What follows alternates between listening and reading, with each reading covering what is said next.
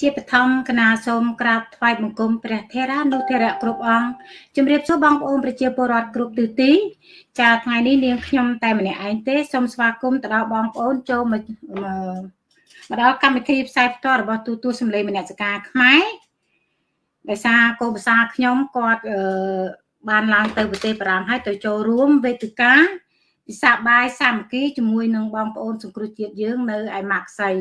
ហើយខ្ញុំថ្ងៃនេះតែម្នាក់ឯងទេ គឺថាចាប់ផ្ដើមហើយមុននឹងយើងចាប់ផ្ដើមទៅដល់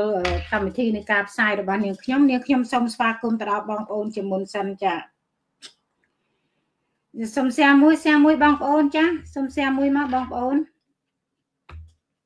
ខ្ញុំសូមសៀមួយសិនបងប្អូនដើម្បីឲ្យមានបងប្អូនយើងបានចូលមើលសិន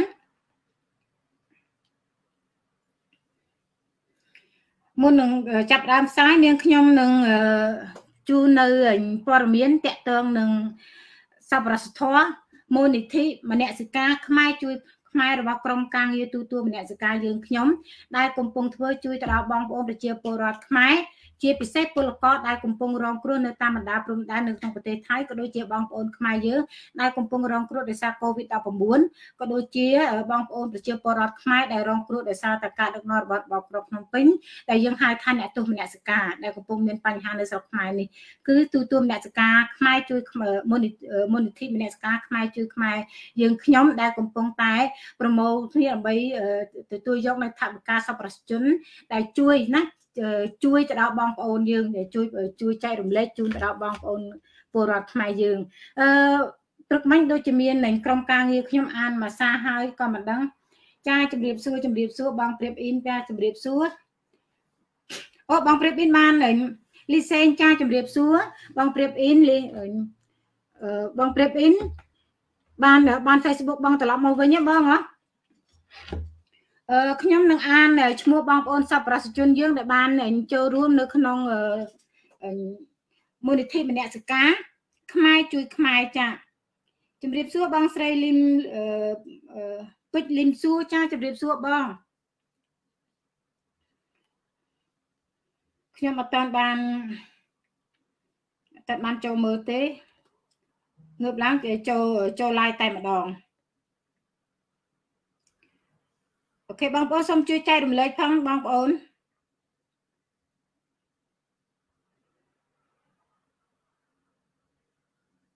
ចាខ្ញុំបើក iPad ទៅដើម្បីឃើញអក្សរធំធំទេស្រួលអានឈ្មោះបងប្អូនហើយនេះខ្ញុំអានឈ្មោះអញ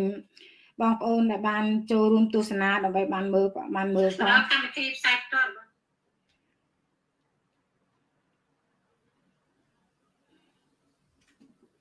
អេរីឈើចាសួស្ដីសួស្ដីចាសួស្ដីសូមស្វាគមន៍ហនុមានហនុមានសំដែងរិទ្ធចាសួស្ដីចាសូមស្វាគមន៍ការមកដល់របស់បងប្អូនក្នុងការចូលរួមទស្សនាការ live ផ្ទាល់របស់នាងខ្ញុំចាមុននឹងចាប់ផ្ដើមនាងខ្ញុំសូមអានឈ្មោះនៅសប្បុរសជនគឺក្រុមការងាររបស់យើងខ្ញុំទាំង7នាក់នឹងអានឈ្មោះជូនបងប្អូនរាល់ថ្ងៃរាល់ពេលយើងមានការ live ចាយើងនឹងអានឈ្មោះបងប្អូនសប្បុរសធម៌ដែលបានចូលរួមជាថវិកាជួយតាមរយៈមូលនិធិមនសិការខ្មែរជួយខ្មែរក្រុមការងាររបស់យើងខ្ញុំពួកយើងនឹងអានឈ្មោះបងប្អូនជូនទៅដល់បងប្អូនស្ដាប់ហើយក៏ដូចជាយើងជូនជាដំណឹងឲ្យបងប្អូនបានដឹងថាថវិកាដែលបងប្អូនបានជួយមកនេះណាបានបែងចែកបញ្ជូនទៅដល់បងប្អូន ប្រជាពលរដ្ឋយើងដែលកំពុងរងគ្រោះដោយអ្វីដែលបងប្អូនចង់បានហើយ គឺពួកយើងធ្វើការងារឲ្យមានកម្លាភាពមិនឲ្យមានបញ្ហាអ្វីកើតឡើងហើយមិនឲ្យមានពាក្យការចោទប្រកាន់មានភាសាចាមអារ៉ាមអីទាំងអស់គឺយើងជៀសវាងគ្រប់បញ្ហាទាំងអស់គឺយើងចាត់ចែងរាល់ថវិកាកសិណគ្រប់ស្តាងទាំងអស់ឲ្យបានដល់ដៃទៅដល់បងប្អូនយើងដែលកំពុងជួបបញ្ហាចានេះគឺជាឈ្មោះបងប្អូនដែលបានជួយតាមពិតមើលយប់មិញខ្ញុំឮសូរបងបងប្រុសចៃរតនា គាត់អានដល់ហើយខ្ញុំគាត់តែអានតែឈ្មោះឈ្មោះហើយនឹងចំនួនថវិកាគឺយកលឿនលឿនតែម្ដងចាគីគីលីមចាជំរាបសួរជំរាបសួរជំរាបសួរបងជំរាបសួរចា Hello ធីតាអូមកពីខាងអាមេរិកទូដុល្លារចាជំរាបសួរស៊ីវនខ្មែរចាជំរាបសួរក្តាមក្តាមស្រែចាជំរាបសួរចាជំរាបសួរជំរាបសួរបងប្អូនបាទនាងខ្ញុំអត់បានអានឈ្មោះខ្ញុំសូមការអធិស្ឋានអភ័យទោសផងដែរចា ទី1លោករ៉ូបឺតលីនិងក្រុមគ្រួសារទឹកប្រាក់ចំនួន1000ដុល្លារឧបាឧបាសកសឹមកំសាននិងឧបាសិកាណប់ស៊ីដារដ្ឋថែនស៊ីលវិលញ៉ាចំនួន100ដុល្លារទី3រឹតប៉ុលរដ្ឋ Florida ចំនួន300ដុល្លារទី4លោកស្រីសាឡនអ៊ុំនិងកូនប្រុសសេរីវុឌ្ឍឡាយរដ្ឋកាលីហ្វ័រញ៉ាចំនួន300ដុល្លារ ទី5លោកស្រីអាណែតកូស្មេតិកនិងស្វាមីទឹកប្រាក់ចំនួន100ដុល្លារទី6លោកស្រីណែតណែតសួសនិងស្វាមីរដ្ឋផែលស៊ីលវិលញ៉ាទឹកប្រាក់ចំនួន100ដុល្លារទី7សួងសួសរដ្ឋកាលីហ្វ័រញ៉ាទឹកប្រាក់ចំនួន100ដុល្លារទី8លោកស្រីសាឡតឈិតរ៉ូសាទឹកប្រាក់ចំនួន200ដុល្លារទី9 លោកច័ន្ទរតនាគឹមរដ្ឋធនិតរដ្ឋធនិតស៊ីរដ្ឋធនិតស៊ីអានេះយើងអានតាមពិតជាភាសាអង់គ្លេសដល់ពេលយើងអានជាភាសាខ្មែរវាច្បាស់ជាអាសូរយើងរបៀបខ្មែរវាផ្សេងណាហ្នឹងហើយទឹកប្រាក់ចំនួន50ដុល្លារឥឡូវខ្ញុំមិនបាច់រាប់អានរាប់ទេខ្ញុំអានតែឈ្មោះហើយនឹងចំនួនទឹកប្រាក់តែម្ដងខ្ញុំគិតថាបងប្អូនដឹងហើយសិតតែជាបងប្អូនយើងនៅក្រៅប្រទេស មិនថានៅថៃប៉ុន្តែបងប្អូននៅក្នុងប្រទេសក៏អាចចូលរួមបរិច្ចាគជួយបានដែរដូចគ្នាអាចជួយបានចាអឺលោកច័ន្ទរតនាគឹមមកខ្ញុំអានហើយលោកស្រីប៊ូប៊ូផាលីនចំនួន300ដុល្លារលោកកកដានួនចំនួន3ចំនួន100ដុល្លារ12អឺលោកសាមេតប៉ាល់និងលោកស្រីពៅព្រំអឺលោកស្រីពៅព្រំចាអឺ100ដុល្លារ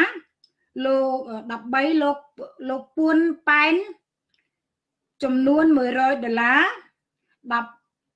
14លោកស្រីចាំធីសុកអាជីងនិងស្វាមី ចំនួន100ដុល្លារ15លោកស្រីម៉ាយ៉ានផង់ចំនួន200ដុល្លារ16លោកសវັດអ៊ុំចំនួន100ដុល្លារ17លោកស្រីប៉ៅតាំងព្រមទាំងបុតចំនួន200ដុល្លារ 18លោកសាទសាយចំនួន100ដុល្លារ19លោកស្រីសូនីតាគឹមនិងលោកសារ៉ូង៉ែតចំនួនអឺ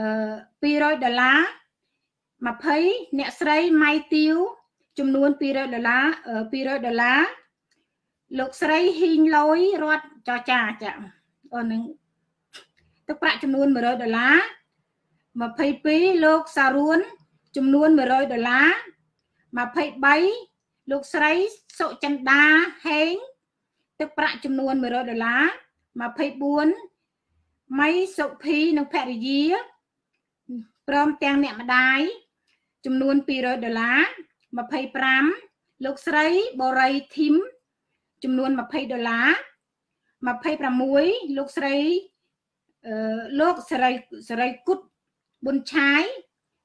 អូនៅខាងអឺរ៉ុបខ្ញុំមានដែរពីប្រទេសស្វីសចំនួន300ដុល្លារលោករណាល់សុកនិងប្អូនថ្លៃរីកទឹកប្រាក់ចំនួន150ដុល្លារលោកបៃសាចប្រុសទឹកប្រាក់ចំនួន50ដុល្លារលោកប៉ែនវុតសុវុធី ចំនួន100ដុល្លារអូមានអ្នកគាំ គ្រប់គ្រងខាងគណៈបកប្រជាជនក៏បានចូលរួមដែរវាជាទឹកចិត្តដល់ល្អដែលបានចូលរួមពួកក្នុងកលៈទេសៈនេះមិនមែនជាពេលវេលាដែលយើងត្រូវប្រកាន់និន្នាការនយោបាយទេជាពេលវេលាដែលយើងត្រូវជួយដល់បងប្អូនពលរដ្ឋយើងដែលជាជនរងគ្រោះដូចដែលយើងជាមានសាច់ជាតិដូចគ្នាតែពួកគាត់កំពុងតែរងគ្រោះយើងត្រូវទៅជួយគ្នាយើងកុំប្រកាន់និន្នាការនយោបាយអីចាអរគុណច្រើនលោកប៉ែនសុវុធីចា ដែលគាត់បានចូលរួមជួយចំនួន100ដុល្លារលោកឆៃលីព្រមទាំងក្រុមគ្រួសារចំនួន100ដុល្លារលោកយីណាននិងស្វាមីចំនួន100ដុល្លារលោកស្រីស្រីតូចរស់នៅប្រទេសខ្មែរចំនួន100ដុល្លារលោកស៊ីវុថានិងថមមីនិងប្អូនប្រុសលីហាវចំនួន250ដុល្លារលោកលុតសៀមអឺលុតសៀមព្រមទាំងក្រុមគ្រួសារ ទឹកប្រាក់ចំនួន500ដុល្លារលោកឈឹមសូរ៉ាសុខុមនិងលោកស្រីគុជស្រីកែវព្រមទាំងក្រុមគ្រួសារនិងលោកយាយហ៊ួនអានលោកយាយកឹមយីទឹកប្រាក់ចំនួន540ដុល្លារលោកស្រីយឹមយឹមផានិងលោកស្រីចន្ទថាអឿបទឹកប្រាក់ចំនួន100ដុល្លារ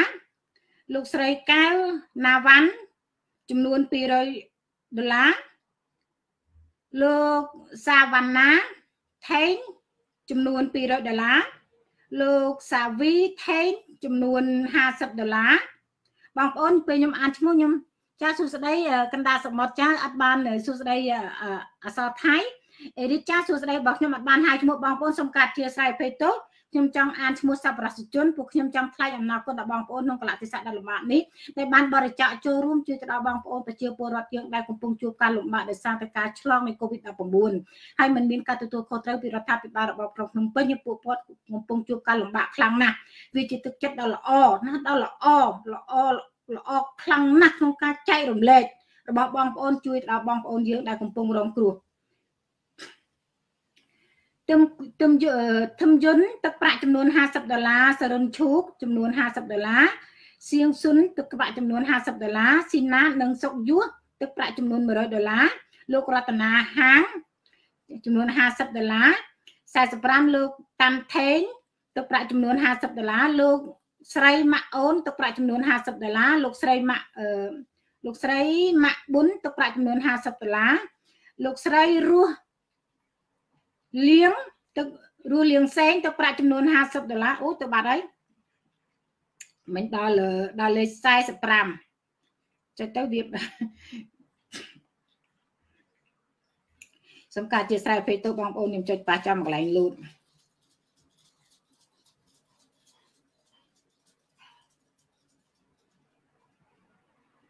ចាក់លោកស្រីរស់មួយសៀង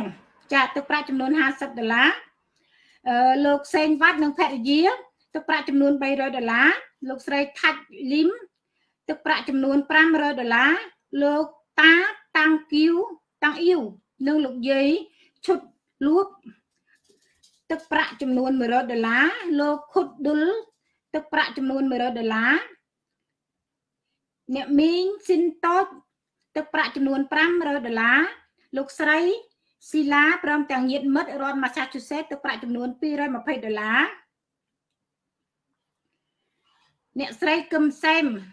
100ដុល្លារលោករតគឹមនៅរដ្ឋតិចសាសចា100ដុល្លារលោកលោកអ៊ំស្រីរះឌីបចំនួន100ដុល្លារលោកយីអ៊ុងនិងគ្រួសារនៅ Maryland ចា 150ដុល្លារលោកឡុងធៀងនិងគ្រួសារ400ដុល្លារនៅអូស្ត្រាលីអូមានបងប្អូនយើងគ្រប់ទិសទីបងប្អូនដែលបានចូលរួមជួយមិនមែនមានតែនៅអាមេរិកឬក៏នៅអឺរ៉ុបទេនៅអូស្ត្រាលីនៅថៃនៅខ្មែរលោកត្រីសុភារស់នៅប្រទេសថៃ1000 11400បាតលោកពូសឿនឆាយចំនួន100ដុល្លារ លោកពូព្រំពៅរដ្ឋកាលីហ្វ័រញ៉ាទឹកប្រាក់ចំនួន100ដុល្លារលោកឈៀងឡៅនិងភរិយា200ដុល្លារលោកកណ្ដាសមុទ្រចំនួន100ដុល្លារលោកហេងនិយមចំនួន50ដុល្លារលោកអ៊ីវងួងឡៅនិងគ្រួសារមេតមេនម៉ៅគឹមគូតាន់គាត់នៅអូស្ត្រាលីចាចំនួន300ដុល្លារអរគុណច្រើនបងប្អូនលោកពូគុំសួងរដ្ឋវ៉ាស៊ីនតោន State ទឹកប្រាក់ចំនួន100ដុល្លារលោកតាលោកត្រាស៊ីជូស៊ីជូលោកត្រាស៊ីជូចំនួនចំនួន200ដុល្លារពតម៉ៅដែលមាន Facebook អង្គរអង្គរសន្តិភាពចំនួន50ដុល្លារលោក Peter Peter សេងបង Peter សេងចាចំនួន50ដុល្លារគាត់នៅគាត់នៅ OIU លោកសុផាតថាច់ទឹកប្រាក់175ដុល្លារលោក ស្រីឌៀនបែលចំនួន20ដុល្លារឧបាសិកាទូចថែនៅឧបាឧបាសកពុំពុំពឿនរដ្ឋ Florida ចំនួន100ដុល្លារលោកស្រីប្រាក់វណ្ណា Florida ចំនួន100ដុល្លារលោកមឿនលោកមឿនមឿងប៉ែតទឹកប្រាក់ចំនួន100ដុល្លារលោកស្រីសួនសេរីនិងលោកសុផលខុនទឹកប្រាក់ចំនួន100ដុល្លារលោករ៉េបឃីមចំនួន100ដុល្លារ លោករីតបូនិងសុផលបូចំនួន100ដុល្លារលោកស្រីផែណាលុបចនសិនចំនួន50ដុល្លារសម្រាប់មូលនិធិ50ដុល្លារសម្រាប់លោកគ្រូរងឈុនសម្រាប់មូលនិធិ50សម្រាប់លោកគ្រូរងឈុន50គាត់ចូលមក100ដុល្លារចាអរគុណច្រើនលោកស្រីបែណាលុបចនសុនចាគាត់នៅរដ្ឋនៅរដ្ឋញូវយ៉ក លោកស្រីសុខាអ៊ុំនិងលោកការ៉ុំមានចាចំនួន100ដុល្លារលោកស៊ីវិកមានចំនួន50ដុល្លារម៉ារ៉ាសុកចំនួន50ដុល្លារដុល្លារលោកអ៊ំលោកអ៊ំសុកហៀងនិងលោកឌីដិនឌីដិនចា150ដុល្លារលោកលោកអ៊ុយ លោកយាយអ៊ុយជំលោកលោកយាយអ៊ុយហ៊ុយលោកយាយហ៊ុយចាសូមអធិស្ឋានលោកយាយហ៊ុយចំនួន50ដុល្លារលោកយាយគៀលោកយាយគៀនចំនួន50ដុល្លារលោកយាយគឹមលោកយាយគឹមចំនួន50ដុល្លារលោកយាយមួនចំនួន20ដុល្លារលោកយាយសារី ចំនួន100ដុល្លារលោកស៊ុនតាច់ចំនួន100ដុល្លារលោកយុធា ចំនួន50ដុល្លារលោកចាសាសារឿសារឿនឡាវនិងលោកស្រីច័ន្ទឡាវចំនួន300ដុល្លារឧបាសិកាពីររូបនៅសាន់យ៉ាឌីសាន់សាន់ឌីយ៉ាហ្គោនៅរដ្ឋកាលីហ្វ័រញ៉ា400ដុល្លារលោកសាំវឌ្ឍនានិងលោកស្រីសាំ មីលីមីលីនីរដ្ឋកាលីហ្វ័រញ៉ាទឹកប្រាក់ចំនួន100ដុល្លារលោកថងជឿននិងលោកស្រីទាមួយសៀងទឹកចំនួន100ដុល្លារលោកជៀសជៀសវិជានិងលោកស្រីគិតគឹមថៃចំនួន100ដុល្លារលោកសួនវ៉ាន់និងលោកស្រីយុនស្រីចំនួន100ដុល្លារលោកតាំងស៊ូអឺ និងលោកខុនលនចំនួនខុនខុតឡតចំនួន150ដុល្លារតូចជាងអូកាន់តែច្រើនហើយតាមពុតថ្ងៃមុនខ្ញុំឃើញតែប្រហែលឥឡូវឡើងដល់100អ្នកជាងហើយឥឡូវឥឡូវ90នេះលើឡើងមក100ម៉ាជំនឿឥឡូវមិញខ្ញុំអានដល់តូចជាងនិងលោកស្រីជៀសចន្ទធី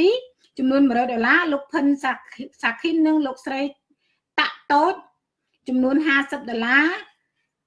លោកណុលសុខុមនិងលោកស្រី ណុលសុកលីចំនួន100ដុល្លារលោកប៉ាប៉ាអាមីនៅរ៉ាផោនតិចសាសចំនួន30ដុល្លារមាសរដ្ឋានិងភរិយាព្រមទាំងបុត្រធីតារដ្ឋកាលីហ្វ័រញ៉ាទឹកប្រាក់ចំនួន100ដុល្លារលោកកឹមឆាយនិងលោកស្រីសៀងឆាយចំនួន200ដុល្លារឧបាសិកាហុងកឹមសាយនិងឧបាសិកាឧបាសកឆាយសៀវសៀង ទឹកប្រាក់ចំនួន1000ដុល្លារជូ Junifer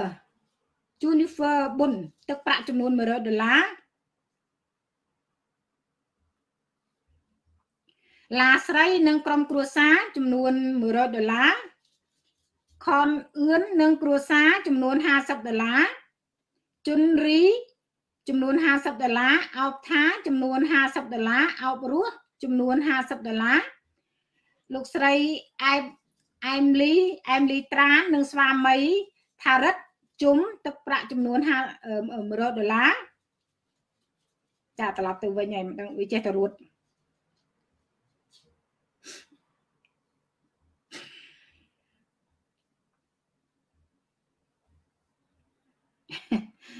ចេះតែរួតត្រឡប់ទៅវិញ សូមអធិស្ឋានពេកទៅផងបងប្អូនចំហផ្ទប់បានស្អីស៊ីបើអត់បានទៅណាឆ្ងាយផង ចាត្រឹមត្រូវឲ្យបិទជាប់រហូតចាលោកមិញខ្ញុំអានដល់ដល់លោកឡាលោកឡាស្រីក្នុងក្រុមគ្រួសារចាចំនួន100ដុល្លារខនអឿននិងគ្រួសារ50ដុល្លារជុនរី ចា50ដុល្លារអោមថា50ដុល្លារ អោមរស់ចានៅនៅដើមដុំនឹងចារស់ឋានអ៊ំប៊ីចាចំនួន50ដុល្លារសំបានសេសចំនួន100ដុល្លារចាំថនគួងនិងបេតធីបេតធី1ចំនួន50ដុល្លារគឹមថនពេញចំនួន50ដុល្លារលក្ខណៈអ៊ុំកាឡូសអានីអានីឡៃ ចាទឹកប្រាក់អានីឡៃរដ្ឋ Massachusetts ទឹកប្រាក់ចំនួន50ដុល្លារឡាយណាក់សេងនិងជូមួយគៀនៅរដ្ឋ Massachusetts ទឹកប្រាក់ចំនួន50ដុល្លារសានម៉ៅនិងឌីឌីរ៉ាន់រដ្ឋ Massachusetts ទឹកប្រាក់ចំនួន50ដុល្លារភីវរស់រដ្ឋ Massachusetts ចំនួនទឹកប្រាក់30ដុល្លារវ៉ាន់នីនិងគឹមម៉ាលីនៅ Massachusetts ដែរចំនួន50ដុល្លារ ហូហួតចំនួន50ដុល្លារចាំធូសេតលី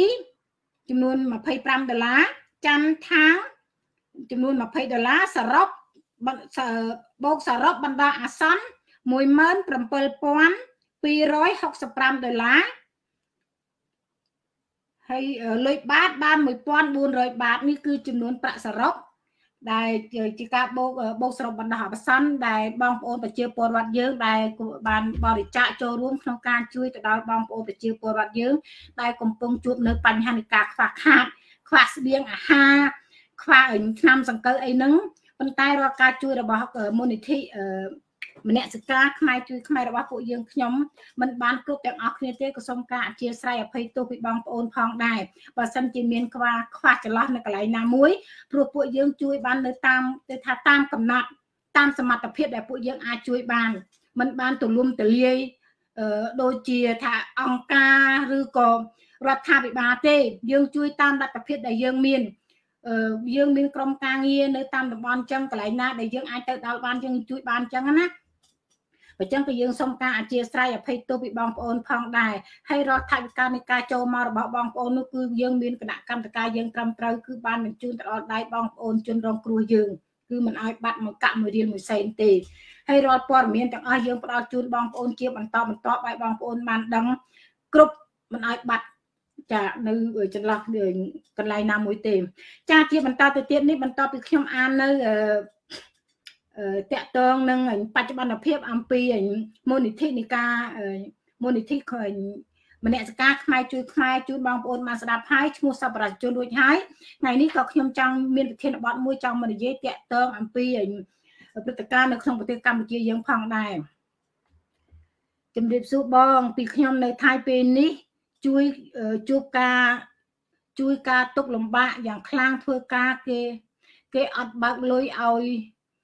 រយៈពេល4ខែហើយឲ្យតែខ្ចីចាយម្ដងម្ដងម្ដងបន្តិចម្ដងបន្តិចពេលនេះគេបិទកន្លែងធ្វើការទៀតខ្មែរចំនួន30នាក់រងការលំបាកយ៉ាងហាក់គ្មានបាយហូបលុយអត់បើកទៀតអឺនីតានីតាខ្នល់បត់អឺអាចតកតងទៅក្រុមការងារយើង យើងមានក្រុមការងារយើងនៅប្រទេសថៃគឺលោកឃ្លាំងបន្លាយអញ្ចឹងនីតានីតាអាចតកតងទៅក្រុមការងារយើងឬក៏ មានអ្នកណាចឹងយើងអាចតំណាក់តំណងទៅប៉ុន្តែពួកយើងជួយក៏សុំការអធិស្ឋានអភ័យទោសពីបងប្អូនផងដែរពួកយើងជួយមិនបានទាំងអស់ទាំងស្រុងតែម្ដងទេយើងបានជួយតាមទៅកន្លែងណាបងប្អូនណាយើងជួយនៅកន្លែងណាមួយដែលមានការលំបាកខ្លាំងព្រោះថវិកាយើងមានកំណត់តាមពិតគម្រោងយើងដំបូងហ្នឹងយើងមិនមានគម្រោងថាយើងជួយអញ្ចឹងណាយើងជួយថាក្នុងចំនួនកំណត់ថាយើងគិតថាក៏យើងជួយបន្តិចបន្តួចជាការរួមចំណែក ក្នុងនាមយើងជាខ្មែរដែលយើងមានទឹកចិត្តយើងឃើញខ្មែរកំពុងជួបការលំបាកអញ្ចឹងយើងចូលរួមជួយជាមួយគ្នាអញ្ចឹងទៅណាដល់ពេលក្រោយមកដោយសារតែការជឿជាក់ការមានទំនុកចិត្តរបស់បងប្អូនប្រជាពលរដ្ឋយើងទើបយើងដែលបានផ្ដល់នៅទំនុកចិត្តដល់ក្រុមការងារយើងទើបយើងទើបយើងមានការថាចូលរួមយ៉ាងទូលំទូលាយរហូតមានចំនួនទឹកប្រាក់រាប់ម៉ឺន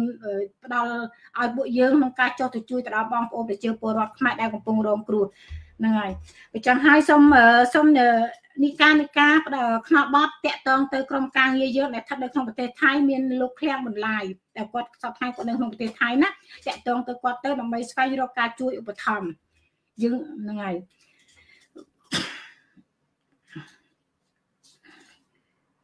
ស៊ីវនស៊ីវនបុនថាហើយចំពោះតកតនឹងការការជួយការជួយទៀតសោត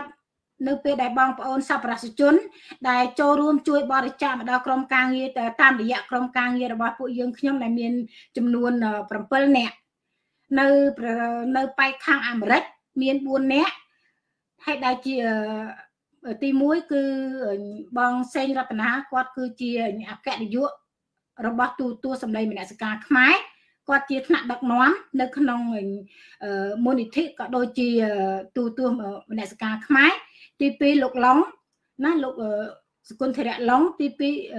ទី3លោកសច្ចៈបុនទី4លោកដាឡេទី5នៅប៉ែកអឺរ៉ុបគឺលោកចម្រឿនទី6នាងខ្ញុំធីតាភូទី7សូហ្វីអាដឺសុនគឺសូហ្វីកូនផ្សារខ្ញុំនឹងបងប្អូនអាចតំណាក់តំណងមកក្រុមការងារខ្ញុំខាងក្រៅនេះចំនួនទាំង7នាក់នេះ នៅពេលដែលបងប្អូនតំណាក់តំណងមកក្រុមការងារខ្ញុំទាំង7នាក់នេះគឺពួកខ្ញុំនឹងយកឈ្មោះបងប្អូនមកអាននៅក្នុងនេះប៉ុន្តែមិនមែនថាពេលជួយនឹងមិនមែនថាទោះជួយមកក្រុមពួកខ្ញុំមិនដល់ដៃបងប្អូនប្រជាពលរដ្ឋខ្មែរយើងអត់ទេណាជួយតាមណាក៏បានដែរតែបើជួយតាមរយៈក្រុមពួកខ្ញុំបងអើយពួកខ្ញុំនឹងអានឈ្មោះបងប្អូនបើមិនតាមរយៈក្រុមពួកខ្ញុំពួកខ្ញុំអត់បានអានឈ្មោះបងប្អូនទេតែប៉ុណ្្នឹងឯណាជួយតាមណាក៏បានដែរធ្វើម៉េចឲ្យតែបានជួយទៅដល់បងប្អូនយើងដែលកំពុងរងគ្រោះនៅក្នុងស្រុកខ្មែរ សំខាន់ចឹងឯងសំខាន់ធ្វើម៉េចឲ្យតែបានជួយដល់បងប្អូនយើងឲ្យគាត់រួចផុតនៅអឺនៅការលំបាកនៃពេលបច្ចុប្បន្ននេះព្រោះឥឡូវនេះដោយបងប្អូនឃើញមានការបិទខ្ទប់នេះចំហខ្ទប់ថខ្ទប់បានស្អីស៊ីបើវាអត់ទៅណាឆ្ងាយផងចាចាសួស្តីសួស្តីចិនតនាគីមចាសួស្តីចាចាជំរាបសួរអ្នកមីងអ៊ុយសខនចាជំរាបសួរ ចឹងឥឡូវនេះតកតងនៅរឿងបញ្ហាមូលនិធិមនសិការខ្មែរជួយខ្មែរខ្ញុំបានអានឈ្មោះបងប្អូនសប្បុរសជនក៏ដូចជារៀបរាប់ជូនបងប្អូនបានរួចរាល់អស់ហើយតកតងនឹងរាល់ការបងប្អូនបានចូលមកហើយនឹងរាល់ចំណាយអីចឹងខ្ញុំ បងប្អូនតាមដានមើលទៅណាគឺក្រុមការងារយើងបានផ្សាយព័ត៌មានជាបន្តបន្ទាប់នៅក្នុង page ទូទួលមនសិការជូនបងប្អូនបានតាមដានមើលអត់មានឲ្យបាត់ទេចាឥឡូវនេះជាបន្តបន្ទាប់ខ្ញុំចូលខ្ញុំចូលទៅប្រធានបទខ្ញុំតែម្ដងថ្ងៃនេះអ្វីដែលខ្ញុំចង់និយាយគឺតាក់ទងនឹងបញ្ហានៅតាមបណ្ដោយព្រំដែនដែលខ្ញុំទៅបានឃើញតាមពិតរឿងនេះខ្ញុំឮសូរថាវាផ្ទុះកើតឡើងដូចជាពីរថ្ងៃហើយនៅនៅច្រកឡែម ខ្ញុំមើលទីសិនគេលោកមានបងប្អូនយើងគាត់បានយកអាព័ត៌មានហ្នឹងដាក់ចូលមកនៅក្នុងនេះប៉ុន្តែព្រឹកមិញនេះខ្ញុំបានមើលអាព័ត៌មានហ្នឹងនៅក្នុងការ live របស់សានប៊ុនធឿនតាមពិតម្ដងមកកាអឺសានប៊ុនធឿនអឺខ្ញុំមិនមែនថាខ្ញុំថាអីនេះម្ដងមកកាខ្ញុំមើលការ live របស់គាត់ដែរឃើញគាត់យកព័ត៌មានហ្នឹងណាព្រឹកមិញនេះខ្ញុំបានមើលការ live របស់គាត់ឃើញគាត់ទៅយកព័ត៌មាននៅនៅ នៅច្រកឡែមឃើញមានបងប្អូនប្រជាពលរដ្ឋយើងដែលកំពុងតែធ្វើការតវ៉ាប្រឆាំងនៅការបិទផ្ទុករបស់ខាងភៀកគីថៃមិនឲ្យនាំតំណែងចូលទៅក្នុងទឹកដីថៃប៉ុន្តែគេអត់ឲ្យយើងខាងខ្មែរយើងនឹងនាំតំណែងចូលប្រទេសគេទេប៉ុន្តែខាងថៃអាចនាំតំណែងចូលមកក្នុងប្រទេសយើងដោយសេរី នឹងថ្ងៃនេះគឺប្រធានបទខ្ញុំចង់និយាយអញ្ចឹងហើយខ្ញុំក៏ចង់ឆ្លើយតបទៅនឹងសម្ដីរបស់មិនដឹងលោកម្នាក់នឹងខ្ញុំចង់រកវីដេអូនឹងជាមួយខ្ញុំរកវីដេអូឡើងវិញមើលអឺខ្ញុំចង់ឆ្លើយតបទៅសម្ដីបុគ្គលម្នាក់នឹងគាត់មិនដឹងជាមេភូមិឬក៏មេសង្កាត់ឬក៏ជាសន្តិសុខឬក៏ជាស្អីទេតែគាត់បានទៅសួរទៅលោកសានបន្ទឿន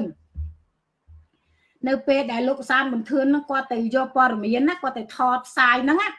គាត់ទៅដល់ហើយពេលហ្នឹងគាត់ថាគាត់ទប់ស្កាត់មិនឲ្យលោកសានមន្ទឿនហ្នឹងគាត់ផ្សព្វផ្សាយទេឲ្យឲ្យផ្សព្វផ្សាយទេប៉ុន្តែលោកសានមន្ទឿនហ្នឹងគាត់នៅតែផ្សព្វគាត់គាត់សុំផ្សព្វផ្សាយអញ្ចឹងណាក្នុងនាមគាត់ជាអ្នកសារព័ត៌មានហ្នឹងហើយខ្ញុំឃើញហើយខ្ញុំឃើញមានការសួរដេញដោលគ្នាចាប់ដើមភ្លេងខ្ញុំឃើញគាត់សួរទៅលោកសានបន្ទឿនហ្នឹងថាបើសិនជាលោកសានបន្ទឿនហ្នឹងជួបបញ្ហាហ្នឹងតើលោកសានបន្ទឿនហ្នឹងធ្វើម៉េចខ្ញុំមានការភ្ញាក់ផ្អើលមែនទែននៅពេលដែលក្នុងនាមគាត់ជា គាត់ជាថាគាត់ជាអានេះវាជាកតបកិច្ចគាត់ក្នុងនាមគាត់ជាអ្នកបម្រើពលរដ្ឋណា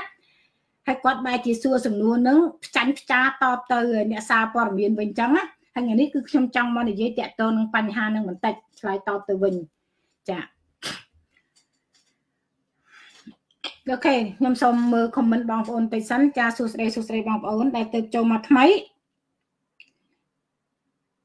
ថ្ងៃនេះខ្ញុំតែម្នាក់ឯងតែម្ដងដោយសារកូនភាសាខ្ញុំគាត់កំពុងតែលងលើយនៅក្នុងនៅប្រទេសបារាំងមក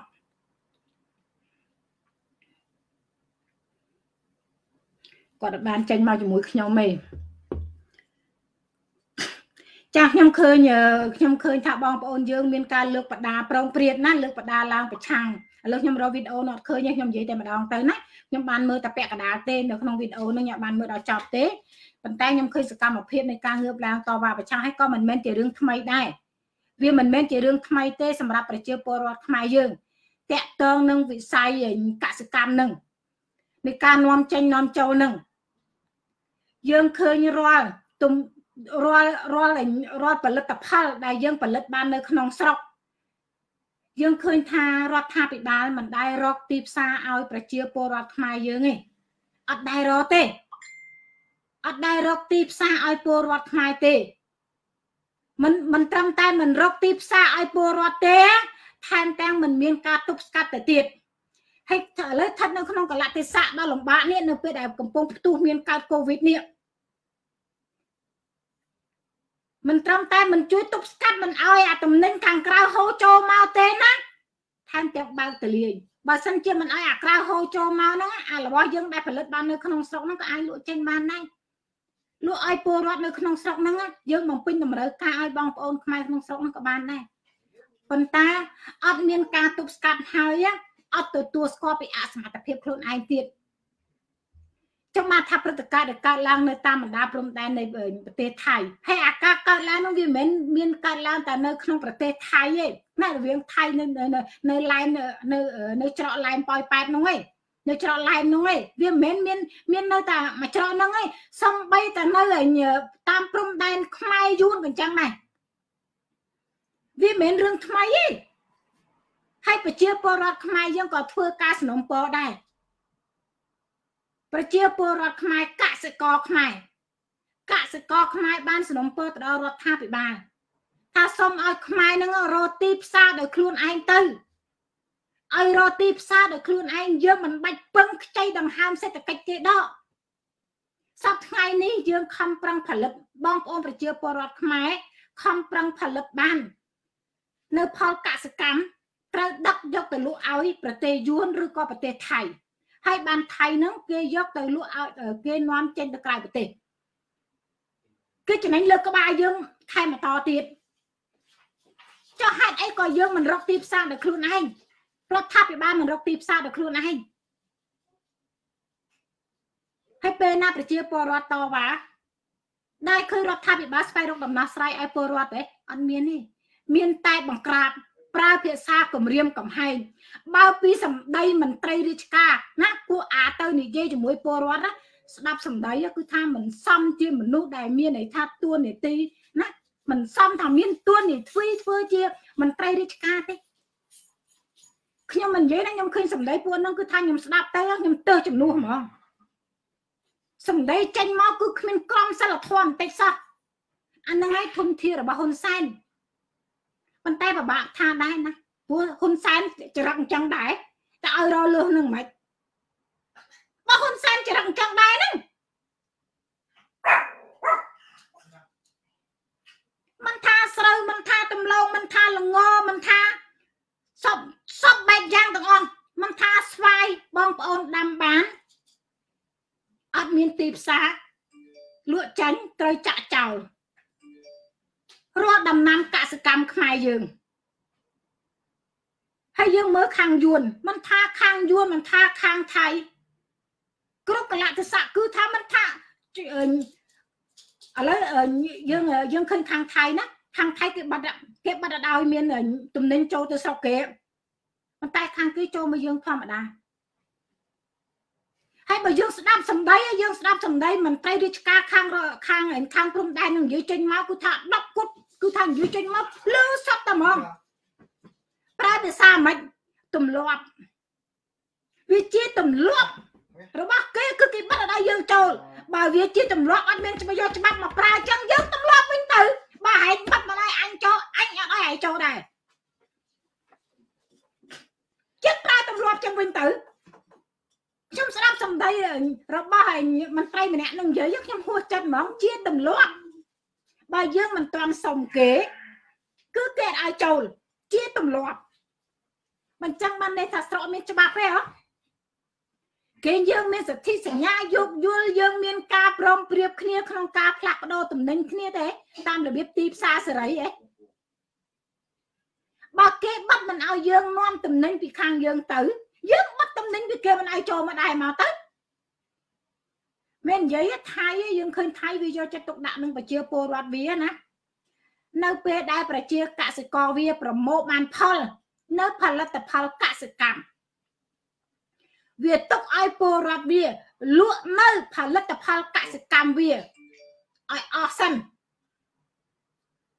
លុះត្រាតែវាមានតម្រូវការបន្ថែមបានវាបើកឲ្យ នៅពេលដែលកសិករគេលក់អស់នៅផលិតផលដែលគេផលិតបាន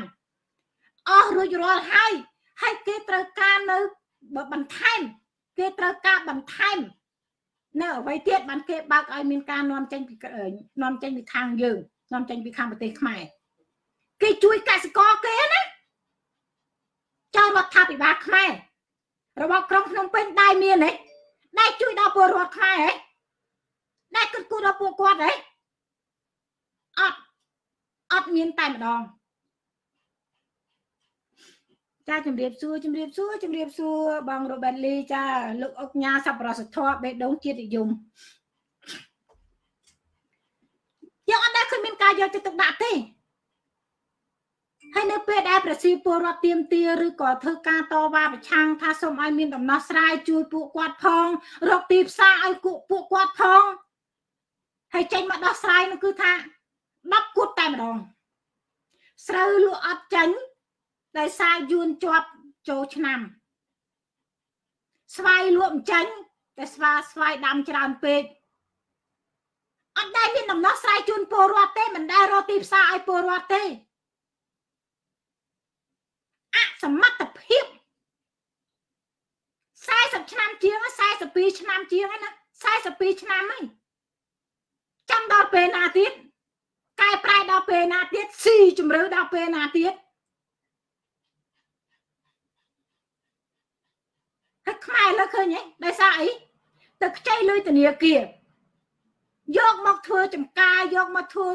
ស្អីផ្សព្វបែបយ៉ាងណាដល់ពេលបានផលមកអត់ទីផ្សារអត់ទីផ្សារត្រូវយកទៅចាក់ចោលអ្នកខ្លះធ្វើចំការដាំស្ពៃដាំអីចឹងទៅយកទៅឈូសចោលដាំពោតដាំល្ងដាំសណ្ដែកដាំអីចឹងទៅយកទៅចាក់ចោលតង្គោតង្គោចឹងទៅដោយសារមិនអត់ទីផ្សារតម្លៃវាថោកពេកយកទៅចាក់ចោលទាំងកណោទាំងកណោចឹងទៅ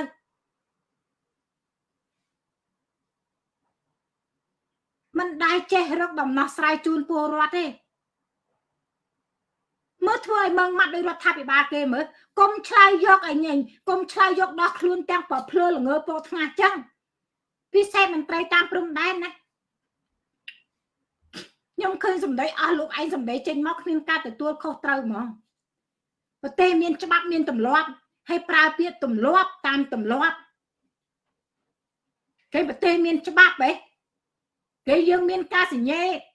ថៃគេគោរពច្បាប់គេគេមិនលក់ក្បាលឲ្យអាឆៃទេ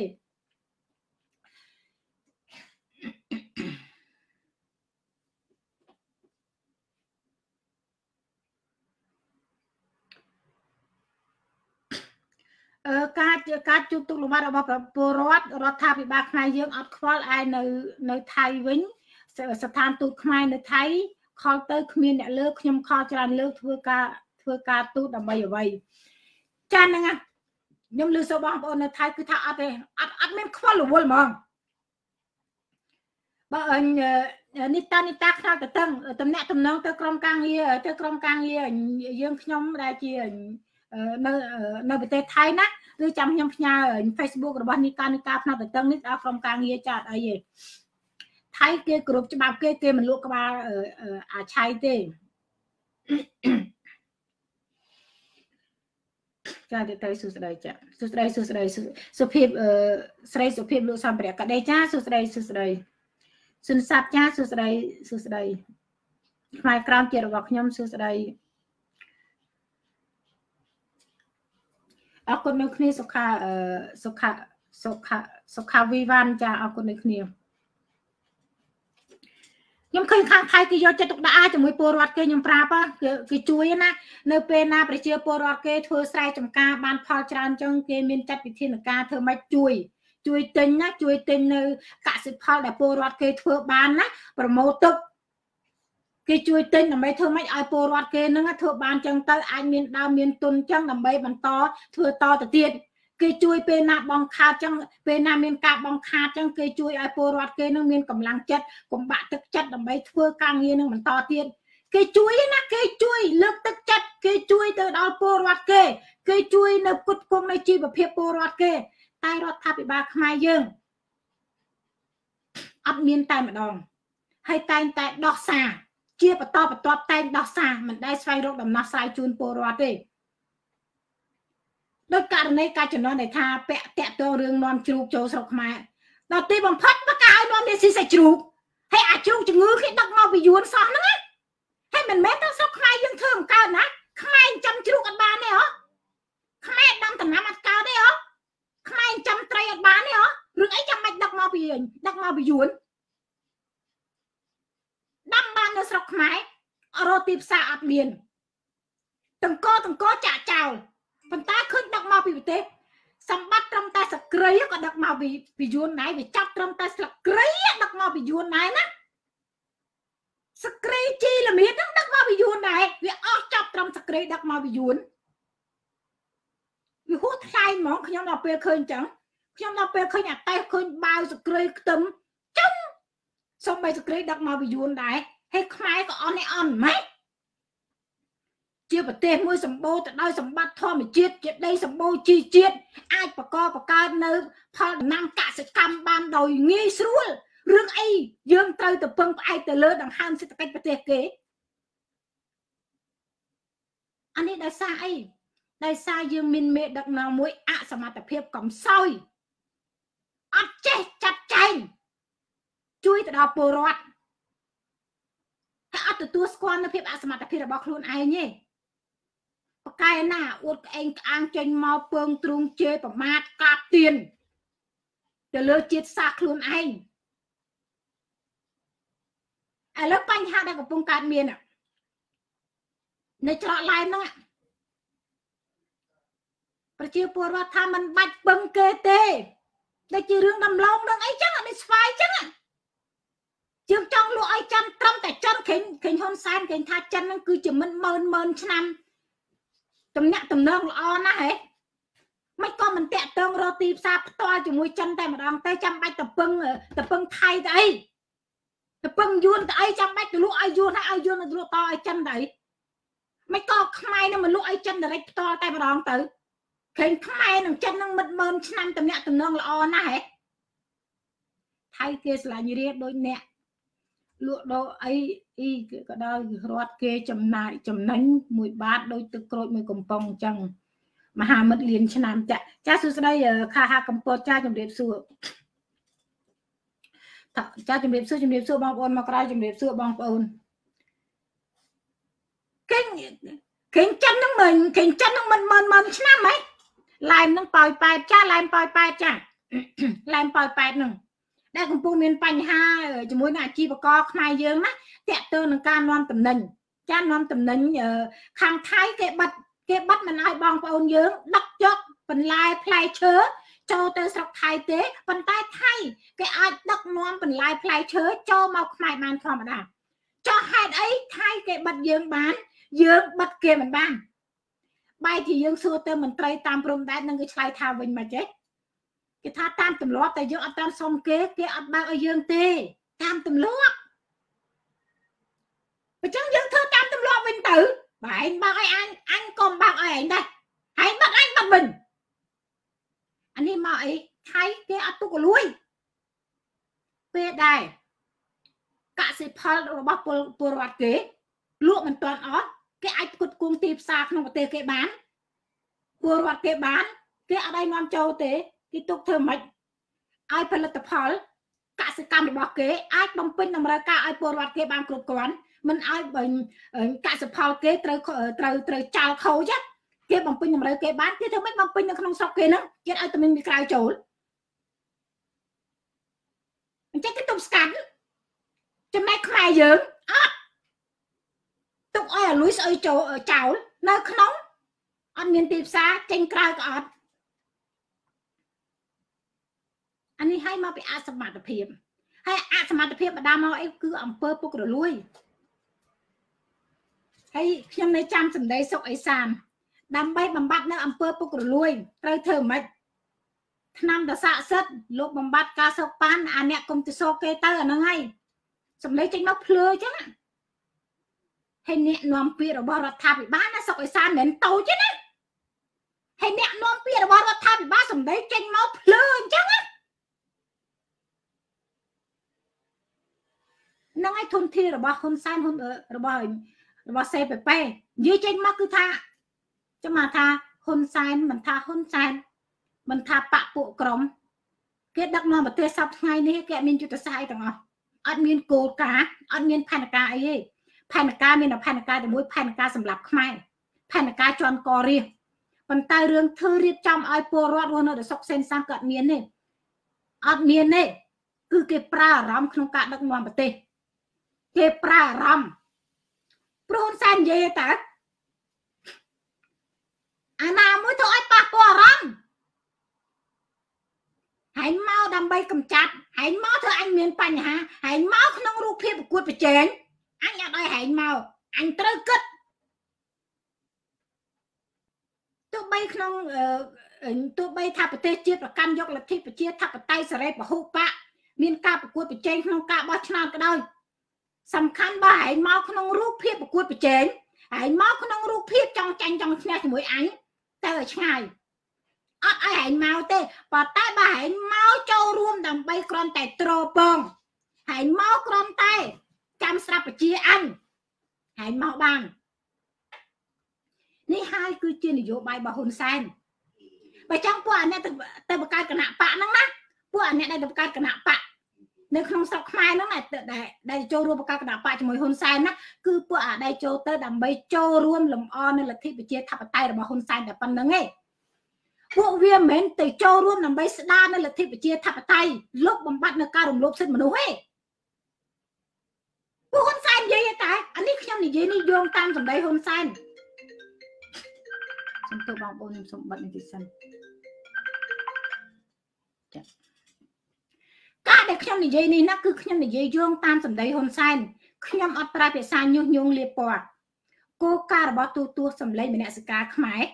អត់ប្រើភាសាញុះញង់លៀបពណ៌ទេ គឺនិយាយយោងតាមសម្ដីហ៊ុនសែនយកពាក្យពិតយកមកនិយាយ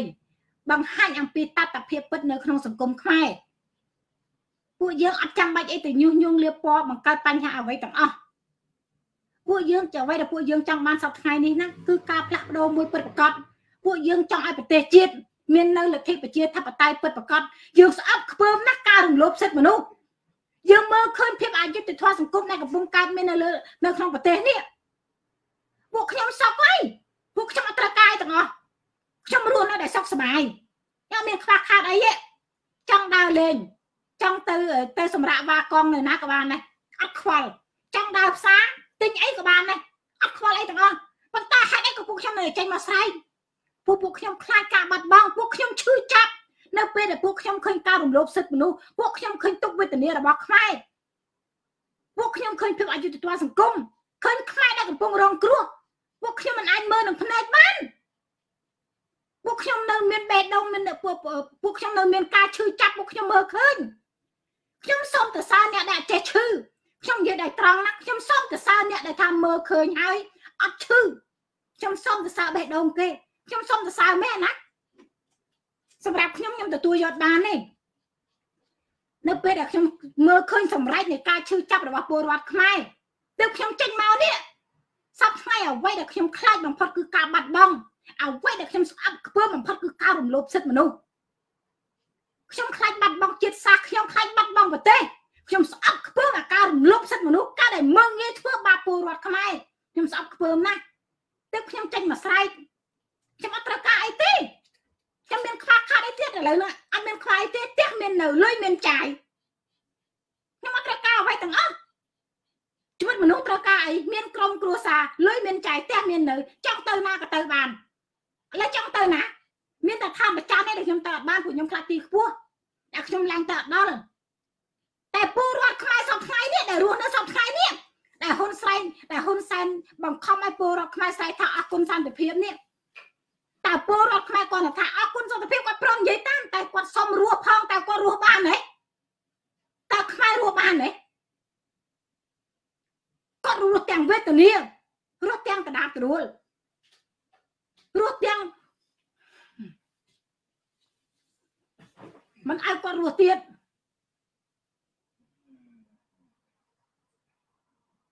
សំបីតែឆ្នាំដែលអត់មានតនការទទួលស្គាល់ពីអង្គការសុខភាពពិភពលោក នៅក្នុងរយៈពេលដែលគេមិនតន់នឹងទទួលស្គាល់ផងគេយកមកចាក់ពិសោធន៍លើជីវិតរបស់គាត់អំជាងសត្វកដោទៀតឈឺចាប់ហ៎បងប្អូនឈឺចាប់ហ៎យើងអំជាងសត្វកដោទៀតសម្រាប់ខ្ញុំខ្ញុំឈឺចាប់ណាស់ខ្ញុំឈឺចាប់នៅពេលដែលគេមើលទៅយើងអំជាងសត្វទៅទៀតតែខ្ញុំសរសើរបងប្អូនដែលអត់ចេះឈឺខ្ញុំសូមសរសើរបងប្អូនដែលអត់ចេះឈឺតែខ្ញុំខ្ញុំឈឺ ខ្ញុំមើលឃើញពីភាពអយុត្តិធម៌ខ្ញុំមើលឃើញ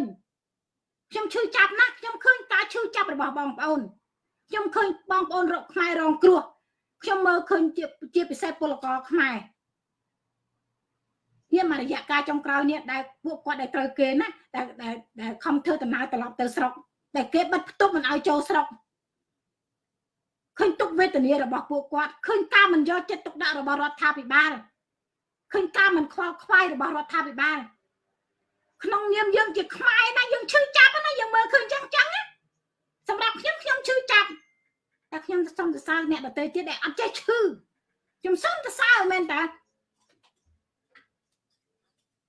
មែនខ្ញុំមិនខ្លាចមែនខ្ញុំមិនស្រឡាញ់ស្រុកមែនខ្ញុំមិនស្រឡាញ់អឺមិនចង់ទៅស្រុកមិនស្រឡាញ់សាច់ញាតិបងប្អូនខ្ញុំស្រឡាញ់ណាស់បានខ្ញុំចេញមកហ្នឹងខ្ញុំខ្លាចការ បាត់បង់ណាស់បានខ្ញុំចេញមកហ្នឹងបានខ្ញុំចេញមកនិយាយហ្នឹងហើយបងប្អូនសួរខ្ញុំថាងើបមិនបងប្អូនសួរខ្ញុំថាងើបមិនបងប្អូនសុកចិត្តឲ្យគេវាយក្រាបនឹងកន្លែងឲ្យសួងើបមិនបងប្អូនសុកចិត្តឲ្យគេយកជីវិតទៅចាក់ពិសោធន៍ឆ្នាំបងប្អូនសួងើបមិនបងប្អូនព្រមព្រមធ្វើដំណើរយកជីវិតឲ្យគេចាក់ពិសោធន៍ឆ្នាំ បងប្អូនអំជាងកដោទៀតបងប្អូនគិតមើលកដោតើគេចាប់វាដាក់ទ្រុងយកទៅចាក់ឆ្នាំមិនចាក់បានណាតែបងប្អូនធ្វើដំណើរដល់ខ្លួនឯងទៅទៅចាក់ឆ្នាំណា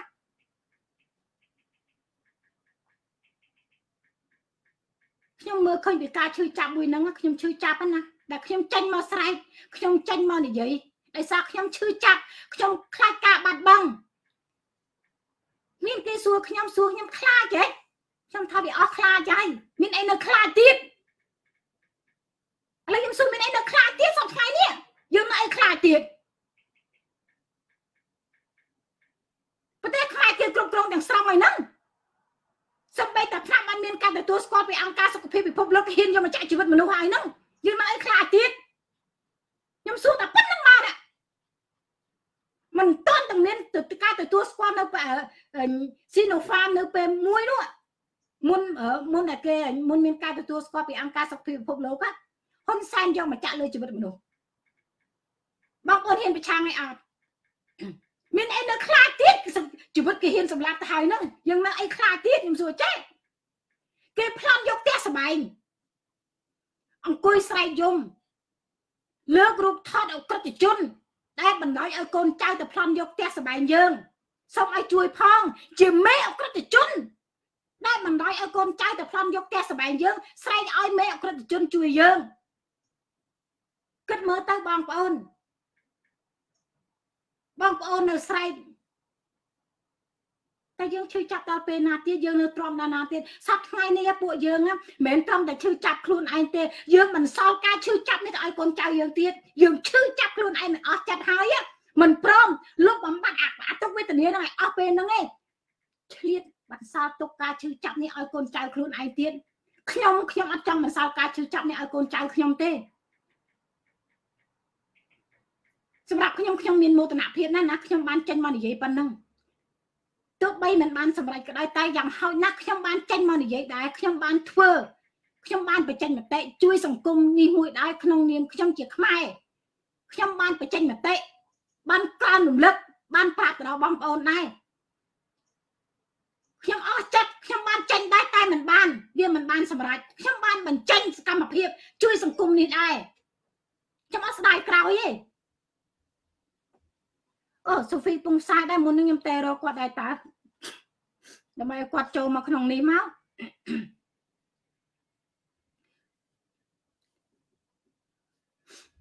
ខ្ញុំឈឺចាប់ណាខ្ញុំឈឺចាប់ខ្ញុំឃើញសង្គមអយុត្តិធម៌មួយនឹងខ្ញុំឈឺចាប់ណាហើយឥឡូវនេះណានិយាយរឿងបាយតិចចូលមកដល់រឿងនឹងវាពាក់ព័ន្ធដែរតកតទៅនឹងទីផ្សារសេដ្ឋកិច្ចរបស់ខ្មែរយើងរដ្ឋាភិបាលខ្មែរអត់មានការយកចិត្តទុកដាក់ ខ្មែរដោយសារតែណា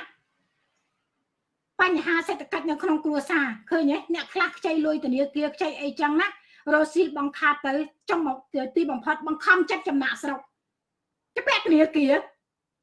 ចពាក់ធនាគារត្រូវបង្ខំចិត្តចំណាក់ស្រុកទៅធ្វើការទៅធ្វើការស្រុកគេទៅថាទៅធ្វើការស្រុកគេដើម្បីអីដើម្បីយកលុយមកសងធនាគារដើម្បីយករកណារកចំណូលដើម្បីគិតគង់ជីវភាពក្នុងគ្រួសារ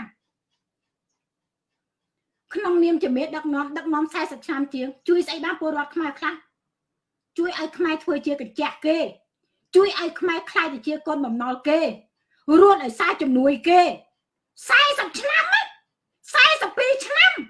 ដឹកនាំ42ឆ្នាំខ្លាយទៅជាកញ្ចក់គេពេញលក្ខណៈខ្ចីដង្ហើមសេដ្ឋកិច្ចគេដល់ទាំងស្រុងតើសប្ថ្ងៃខ្មែរមានអ្វីដែលអាចដកដង្ហើមមកខ្លួនឯងបានសំបីតែខ្មែរធ្លាប់តែជាទឹកដីមួយ ដែលសម្បូរសបាយដែលជាប្រទេសមួយល្បីល្បាញក្នុងការធ្វើអង្គដាំស្រូវពីណាមិនល្បីណាទឹកដីខ្មែរដាំអង្គបាយឆ្ងាញ់ណាខេត្តបាត់ដំបងណាពីណាមិនល្បីពិភពលោកនេះតែទីបំផុតទិញទិញកមកពីយួនអត់ទេហើយមិនខ្មែរធ្វើមិនបានទេខ្មែរធ្វើបានពេលណាដាំស្រូវបានដឹកយកទៅលក់ឲ្យយួន វាយផ្លាកដាក់បោះយួនទៅលក់ឲ្យបរទេសតើអ្វីជាមោទនភាពរបស់ខ្មែរដែលសពថ្ងៃដឹកទៅលក់នៅក្រៅស្រុកតាខ្ញុំមិនបានមកហ៊ុនសែនអ្វីទៅជាមោទនភាពរបស់ខ្មែរសប្តាហ៍នេះមោទនភាពរបស់ខ្មែរណាតើធ្វើកញ្ចាស់គេគ្រប់ប្រទេសនឹងឲ្យមោទនភាពជាតិខ្មែរ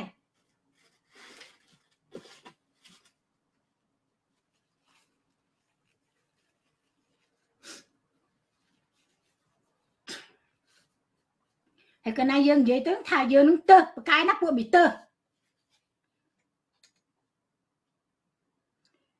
ខ្ញុំអត់ដែរអស់សង្ឃឹមទេចាបងខ្ញុំអត់ដែរអស់សង្ឃឹមទេចំពោះខ្ញុំខ្ញុំអត់ដែរអស់សង្ឃឹមទេមិនថាខ្ញុំអត់ដែរអស់សង្ឃឹមទេមិនថា10ឆ្នាំ20ឆ្នាំខ្ញុំអត់ដែរអស់សង្ឃឹមទេបើជីវិតនៅមានយើងត្រូវតែតស៊ូតស៊ូរហូតដល់ផុតជីវិតខ្ញុំអត់ដែរអស់សង្ឃឹមទេ ព្រោះសពថ្ងៃអ្វីដែលយើងខ្លាចបំផុតណាអ្វីដែលជនបរទេសពិសេសគឺយួនហើយនឹងចិនដែលវាខ្លាចបំផុតគឺខ្មែររួមកម្លាំងគ្នាចឹងបានគេប្រើគ្រប់វិធីក្នុងការបំបែកខ្មែរបំបែកជាជំរាកជាជំរាកគេប្រើគ្រប់វិធីហេតុអីបានជាហ៊ុនសែនរំលាយសង្គ្រោះជាតិ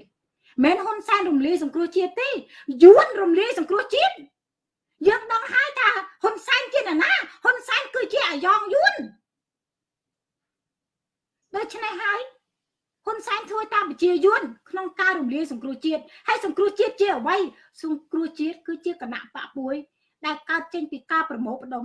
នៃប្រជាពលរដ្ឋខ្មែរកើតចេញពីឆន្ទៈរបស់ពលរដ្ឋខ្មែរប្រចឹងកម្លាំងនៃការប្រមូលផ្ដុំរបស់ប្រជាពលរដ្ឋខ្មែរវាគឺជាហានិភ័យរបស់យួនគឺជាហានិភ័យរបស់ចិនអញ្ចឹងពួកវាអត់ត្រូវការទុកឲ្យគណៈបកនេះមានដង្ហើមក្នុងការងើបឡើងតវ៉ាប្រឆាំងមួយពួកវាទេ វាខ្លាចណាស់ខ្ញុំមិនដែលអស់សង្ឃឹមទេ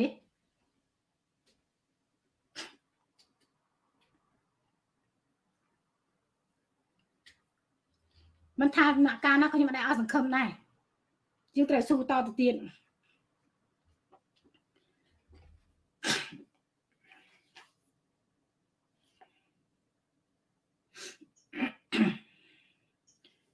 នឹងថ្ងៃនេះខ្ញុំក៏ចង់ចេញមកឆ្លើយតបជាមួយនឹងបញ្ហាដែលកើតមាននៅតាមនៅតកតនឹងរឿងតំណែងដែលតំណែងនៅច្រកឡែនហ្នឹងណាដែលខ្ញុំបានមើលហ្នឹង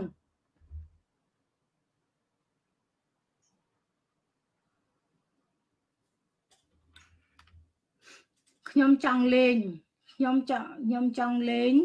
ចង់មើល រឿងនយោបាយព្រោះមានការប្រេះឆានៅក្នុងសង្គ្រោះជាតិដោយស្ងប់ស្ងាត់រវាងបុគ្គលល្បិចជនអាយ៉ងយួន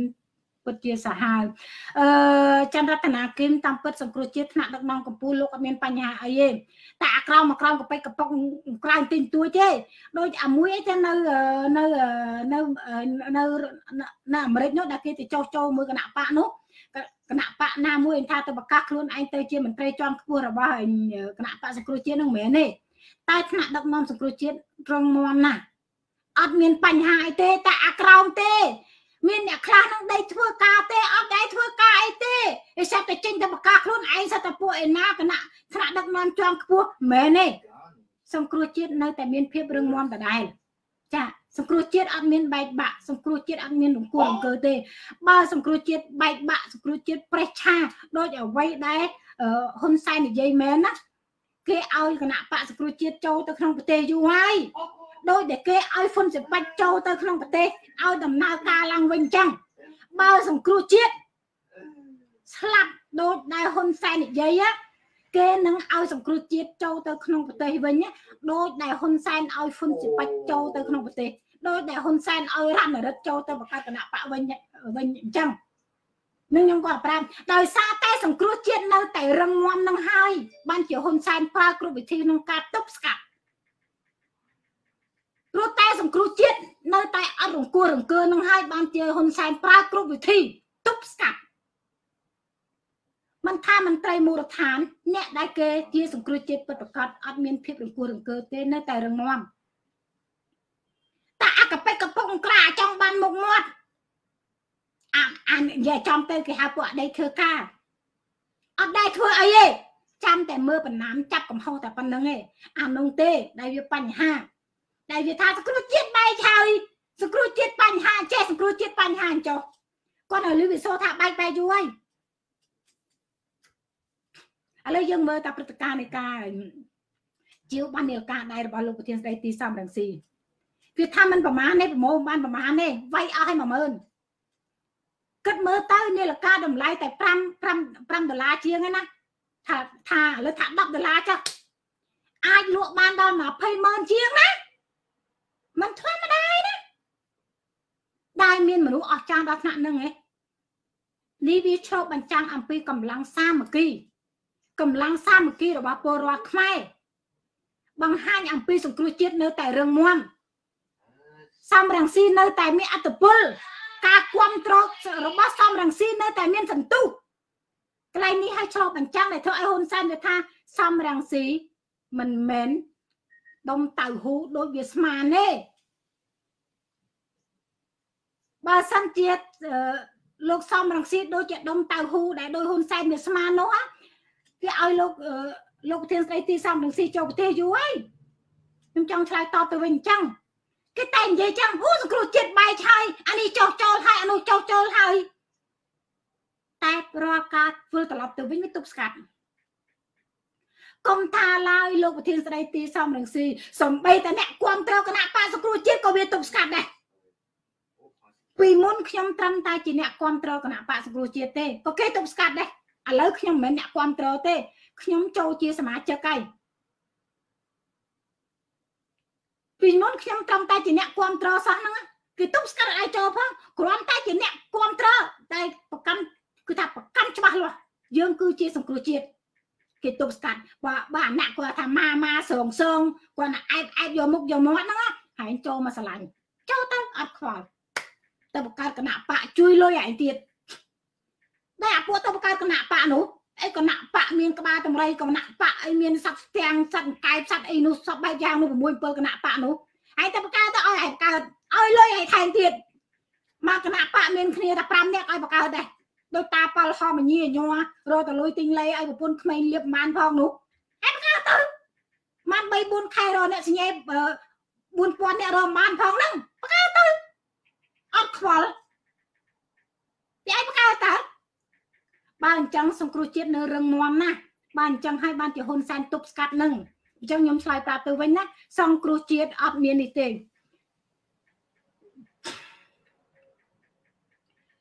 ពួកវាទប់ស្កាត់រឿងក្នុង Facebook ខ្ញុំ share មានដែនកំណត់អញ្ចឹង ចាអឺថ្ងៃនេះចាសំខាន់អ្វីដែលខ្ញុំក៏ចង់ឆ្លើយតបទៅអ្នកដែលថាសង្គ្រោះជាតិមានការបែកបាក់ឲ្យដឹងតែប៉ុណ្្នឹងទេណាព្រោះយើងអត់ចង់បកស្រាយអីច្រើនទេជាមួយនឹងការនិយាយស្ដីរបស់ពួកវាដែលតែតែពោលថាសង្គ្រោះជាតិមានការបែកបាក់តែសង្គ្រោះជាតិមិនមានការបែកបាក់ទេបើសង្គ្រោះជាតិបែកបាក់ដោយដែលវានិយាយហ្នឹងវាឲ្យចូលបាត់ហើយចាអឺតំណែងដែលថៃដឹកចូលមកខ្មែររាល់ថ្ងៃនោះមិនមែនតំណែងអ្នកតូចតាចអាចឲ្យថៃដឹក ចូលមកធម្មតាបានទេចាអានេះសិតអូក្នុងកាំងវាធំធំណាក្នុងកាំងវាណាសិតតែមានក្នុងកាំងវាមន្ត្រីឈ្មោះធំធំបើត្រឹមមកកប៉ិកប៉ុកធម្មតាចូលបានទេប្រជាពលរដ្ឋដឹកអូតាមមកតេមកតេវាររឿងរុញច្រានគ្នាទម្លាក់អីវ៉ាន់គ្នាខ្ទីចាក់ខ្ចាយបែកពេញនឹងដូចវាមិនមិនមែនអ្នកធម្មតាទេសារអ្នកមានក្នុង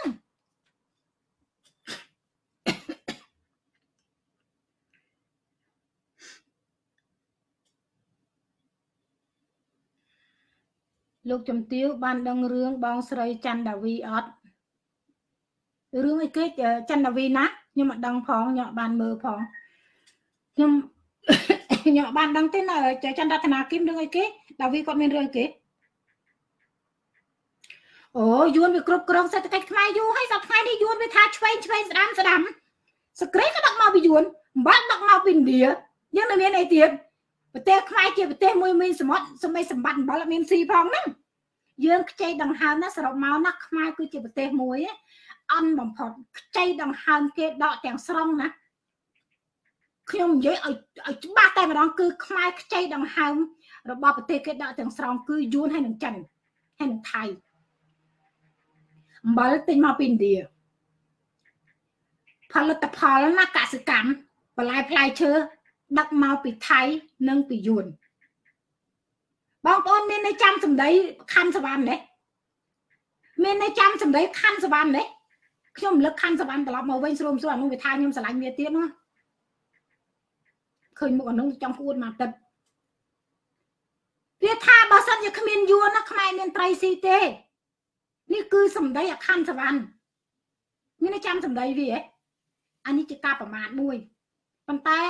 អាយួនខណ្ឌសវណ្ណវានិយាយកន្លែងនេះវាច្រឡំមាត់ឯងដកពាក្យជាបន្តណាសវណ្ណ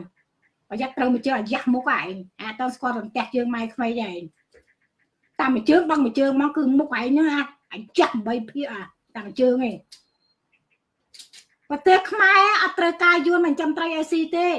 កុំតែអាយួនដេរឆានឯងមកបំផ្លាញបានហើយក៏ចង់ប្រាប់ប៉ុណ្ណឹងត្រឡប់ទៅវិញ